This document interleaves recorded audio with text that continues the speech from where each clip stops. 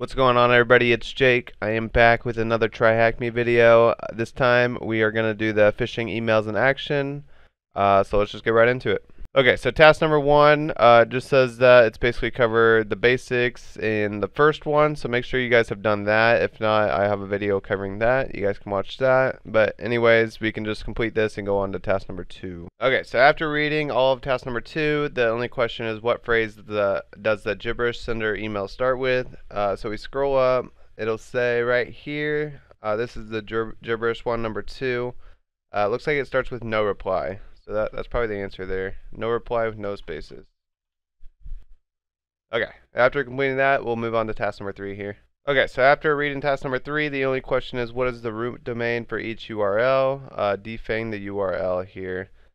Um, so it looks like it looks like the root uh, URL should be the devret.xyz, and it wants us to defang it. So if you go to CyberChef, uh, you guys can type in up here, just defang.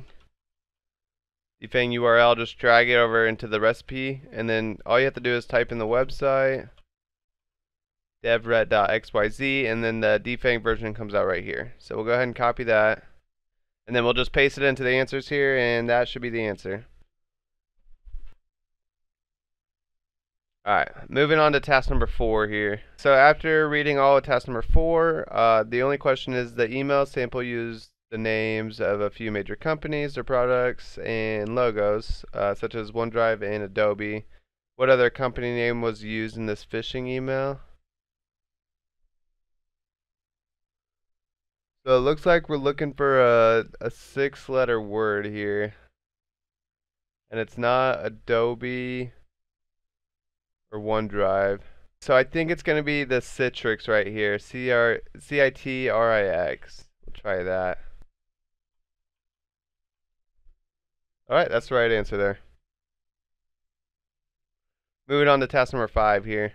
The only question on task number five is what should users do if they receive suspicious email or text message claiming to be from Netflix. So if you click on the hint here, it gives you a link that you got to go to. So you just click on that it'll bring you to this consumer affairs link right here and it says right here users who receive a suspicious email or text message claiming to be from netflix are advised to forward the message to phishing at netflix.com uh, so that's going to be the answer right there forward the message to phishing at netflix.com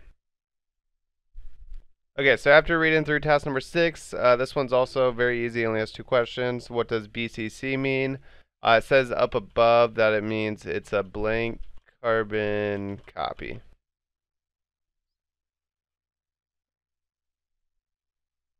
Blind. It's a blind carbon copy. And then what technique was used to persuade the victim, uh, victim to not ignore the email and act swiftly? Uh, this one, I'm just guessing, probably urgency. If I can spell it right. Alright, looks like that's right there. After reading task number seven, also a very easy one. What is the name of the executable that the Excel attachment attempts to run? Uh, looks like it's probably the this one right here, which is regasms.exe. Okay, it looks like that one should be right there. Uh, and then task number eight, conclusion, uh, just tells you what you went over. So th that's basically right there. You guys can go ahead and complete that out. If you guys enjoyed this, make sure to drop a like and subscribe. Thank you guys.